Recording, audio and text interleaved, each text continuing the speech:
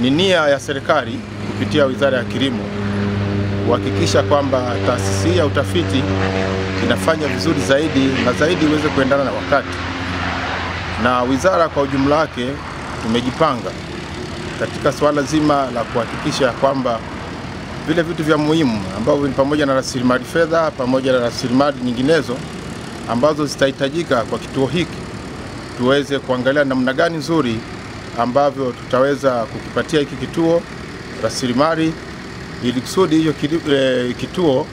kiweze kuzalisha mbegu zilizo bora zaidi. Serikali ya awamu ya tano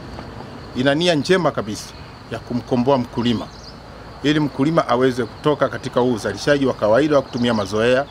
na aweze kwenda katika hatua nyingine ya kuzalisha mazao kwa, kwa tija zaidi. Mambo mbalimbali tuliyojipangia hasa kwa msimu huu wa mwaka wa 2020 na na 2021 ni kuendelea sasa kuhakikisha kwamba tunafanya utafiti wa mazao haya,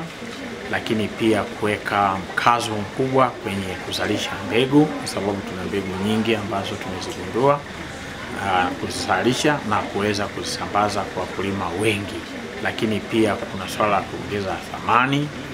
e, za mazao haya na kuongeza usimamizi zaidi,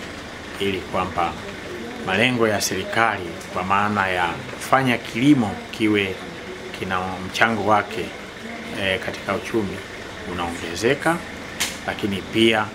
kilimo e, kiweze pia kuchangia kwenye uchumi wa mkulima binafsi, uchumi wa kaya pia,